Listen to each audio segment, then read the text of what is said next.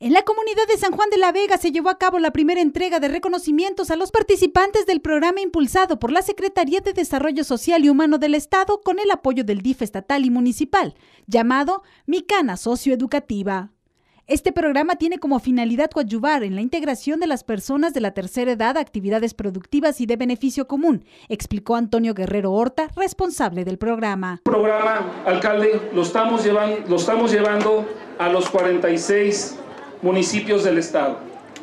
Este año hemos estado haciendo convenios con municipio porque queremos que este programa se multiplique a más gente. ¿Verdad que sí vale la pena? Sí. Porque cambia la vida, ¿verdad? Sí. Ayuda a ser mejor. Y de eso se trata el programa. Aquí no damos ningún bien material, pero te damos algo importante el desarrollo de crecimiento de vida como ser humano. Eso es lo importante. Algo que hemos perdido muchas personas y queremos rescatar. Lo que nos dio base como personas, como sociedad, el de ser humano. Esa sensibilidad que Dios nos puso en cada uno de nosotros es retomarla y rescatarla hoy en este día. A este evento acudió la presidenta del DIF en Celaya, Dolores Ramírez, y el alcalde Ramón Ignacio Lemus Muñoz Ledo, quien conminó a los adultos mayores en participar en estos programas que buscan su inclusión a la sociedad. Yo creo que lo que acaban de, de escuchar de quienes dieron su testimonio habla por sí mismo de lo importante que ha sido este programa.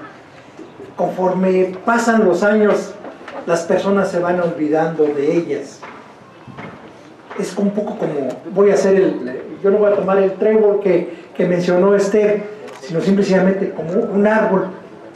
Un árbol pasan los años, ve pasar las primaveras, ve pasar los veranos, los otoños, los inviernos, va creciendo y de repente no va encontrando los nutrientes y se va secando.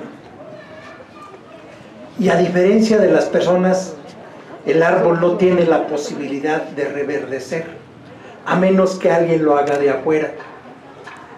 Y la diferencia de las personas es que, como bien decía Esther, y como bien decía quienes eh, eh, dieron su testimonio, es que pueden encontrar por sí mismas el tesoro que hay dentro de sí.